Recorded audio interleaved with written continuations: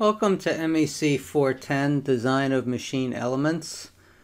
This is a lecture on Chapter 15 in our textbook.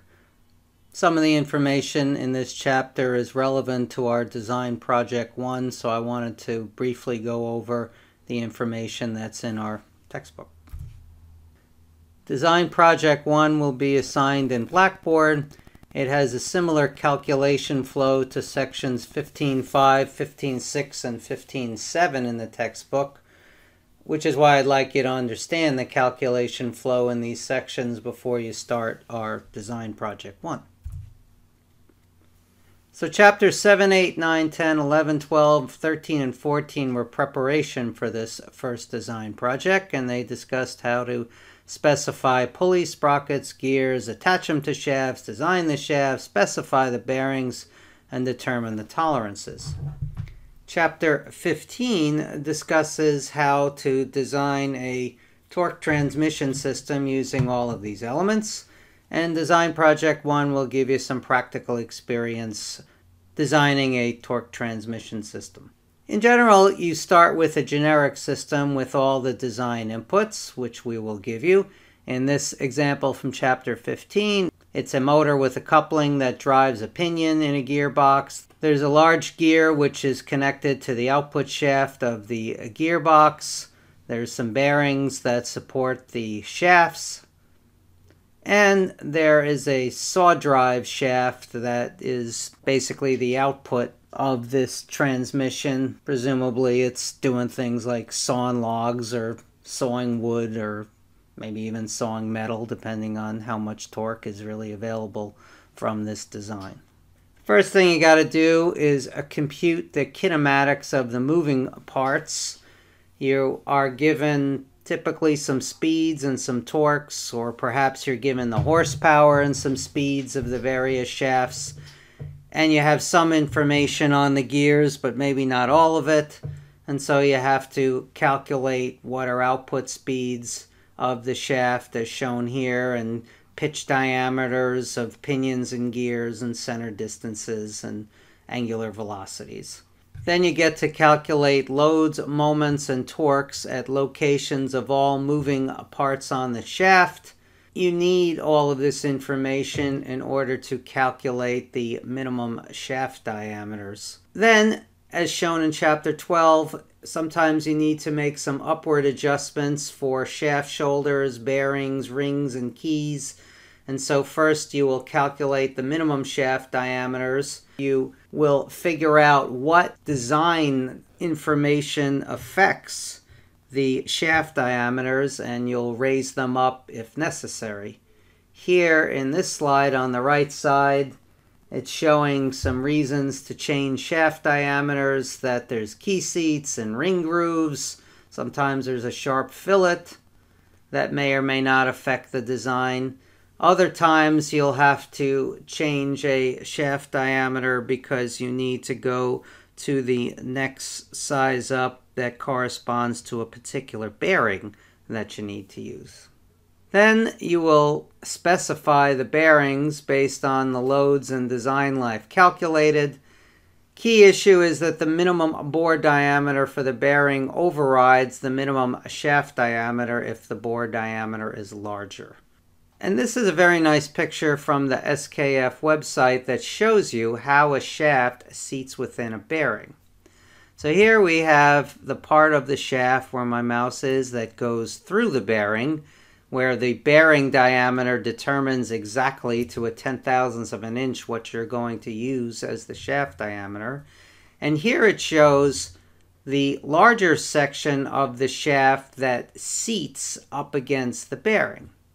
And it's called the shaft shoulder diameter and the shaft shoulder diameter must rest on the rotating inner race of the bearing or it can extend out a little bit. But the one thing you can't let a shaft do is ever touch the outer part of a bearing because the outer part of a bearing is not rotating.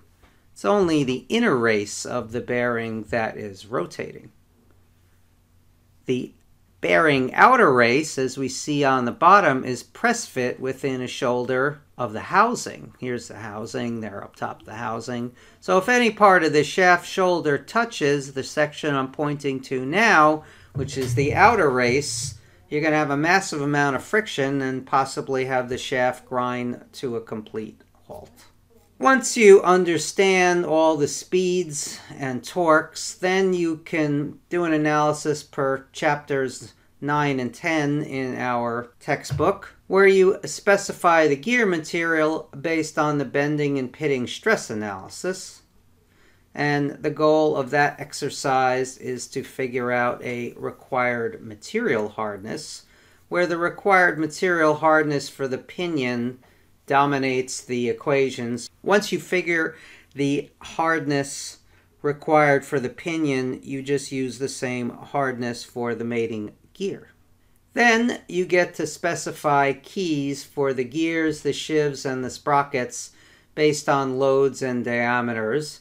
And here at the bottom we show the key equation that you use for a rectangular key seat where coincidentally the dimensions of the width and the height of the key are the same, which means essentially you have a square key as opposed to just a rectangular key. In our design project, we're also going to have you specify rings to keep rotating parts from moving laterally on the shaft, and we'll give you some information from a catalog, and we'll ask you some questions about which ring to specify.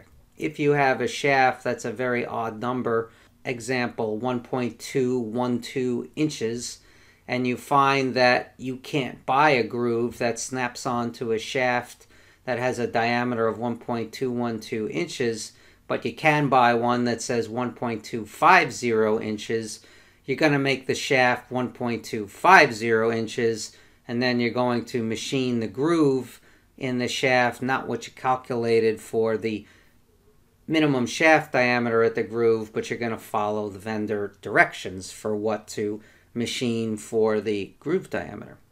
That's what we mean by groove diameter from vendor data overrides the nominal groove diameter specified in chapter 12.